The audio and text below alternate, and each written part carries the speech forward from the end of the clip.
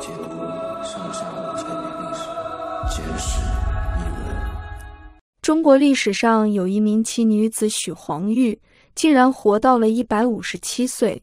但是她传奇的不仅仅是她的寿命，更为传奇的是她的经历。她本来只是为了躲避战乱逃亡到韩国，可是没想到她竟然成了韩国历史上唯一一位中国籍的王后。中国籍的韩国王后迦耶国是三世纪末期由遍韩部落发展起来，以金冠迦耶为中心的六个联盟。金首鹿王就是迦耶国的首任国王。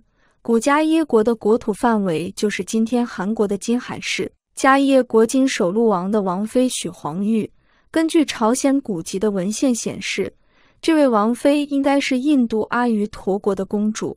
但是她的陵墓上又称其为普州太后。蒲州是中国四川安岳的曾用名。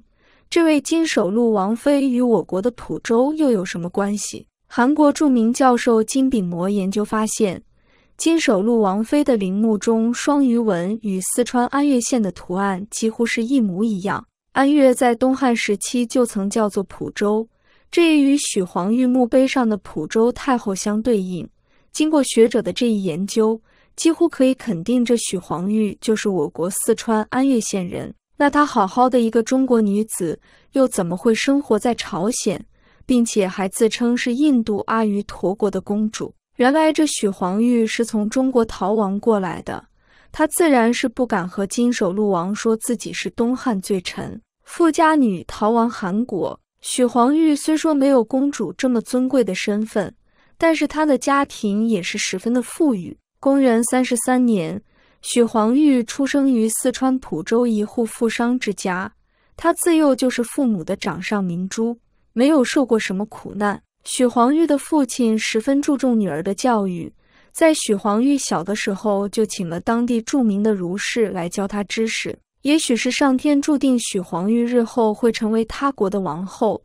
在许黄玉很小的时候，他就对国外的事物很好奇，甚至还会外国的语言。许黄玉的童年时光过得十分的开心，一直到十六岁那年，他的生活发生了巨变。东汉早期，四川那边十分的动荡不安，农民起义军此起彼伏，他们不服东汉的统治，都妄想取而代之。但是东汉的光武帝刘秀并不是一个等闲之辈。这些所谓的农民起义很快就被镇压。可怜的许黄玉，因为家族中有人参与这次谋反，他们全家都被牵连发配至湖北。年幼的许黄玉也许并不知道，这意味他再也不能回到自己的家乡，但也由不得他自己去选择，他只能跟着父兄一起被抓起来，等待着官府最后的审判。他们整个家族和当地很多谋反的人一起走水路。押送至湖北，由于押送的官兵人数不多，许黄玉家族的人就一起杀死了那些官兵，夺走船只。但是他们也不敢停船上岸，毕竟他们现在是有罪之人。他们就这样在船上漂泊了几个月，船只也进入了黄河流域。许氏家族的人已经出了东汉国境内，又看见岛屿上有人生活，开心的不得了。这是他们漂泊了两个月第一次见到非东汉的人，他们马上停下了船只，登陆上岸。原来这个岛屿就是迦耶国，也就是今天的韩国金海市。许氏家族本来以为岛上的居民会十分排斥他们，所以他们从船上下来还带了很多防身的武器。但是迦耶国的国民都十分的友好善良，对这群陌生人也是十分的客气。自古以来，大部分的人都是会以貌取人，迦耶国的国民也是不例外。许黄玉本来就是富家小姐，不仅有才情，容貌更是堪称一绝。凡是见过许黄玉的人，都被她那美丽的外貌所吸引。一传十，十传百，关于许黄玉美貌的传言传到了迦耶国国王金首禄的耳中。他一听还有这样貌美的女子。自海上而来，那不就是仙女下凡吗？他作为迦耶国的王，自然是只有自己才有资格拥有这样的绝色美女。而许氏一族在这个地方无依无靠，如果有国王作为靠山，那对于他们来说肯定是求之不得。没多久，金守禄就招许黄玉进宫面圣。这一见面，金守禄就被许黄玉深深的吸引了。果然和传说中的一样，美若天仙。许黄玉也对这个国王颇有好感，很多他就被金守禄立为王妃。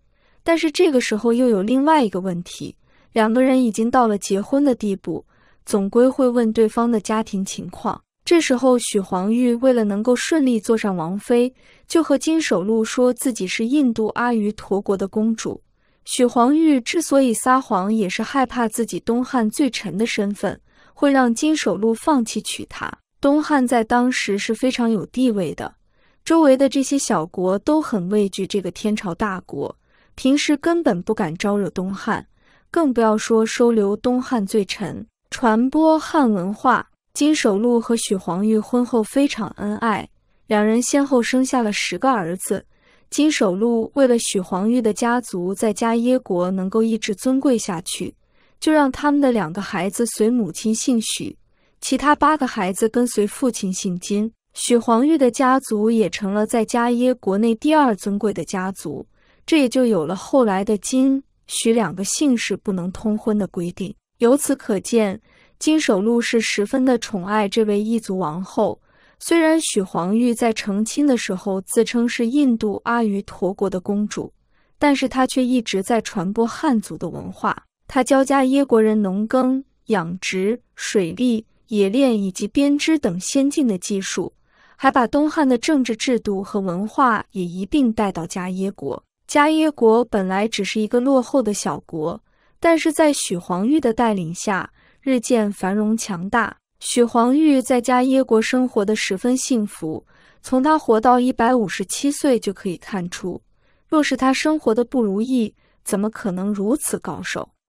虽然在他们成亲的时候，许黄玉欺骗了金守禄，说自己是印度的公主，但随着时间的推移，许黄玉也就不再欺骗自己的丈夫，和他坦白了自己的身份。得知妻子真实身份的金守禄，并没有因此而害怕，他还是选择爱护许黄玉，但对外还是继续宣称许黄玉是印度公主，这样也可以免去很多不必要的麻烦。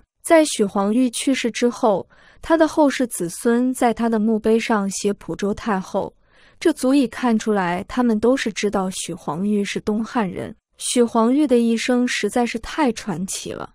逃亡之路上，竟然也能坐上他国的王后，还能够安享晚年，活到一百五十七岁。许皇玉等巴蜀人为了隐瞒自己的乱民的身份，曾经谎称自己是印度来的贵族。但是，一百八十九年三月二十五日，许黄玉临终前将一切真相告知世人，称自己来自于巴蜀坟地许家坝，因为他的家乡在南北朝时期被改称为蒲州。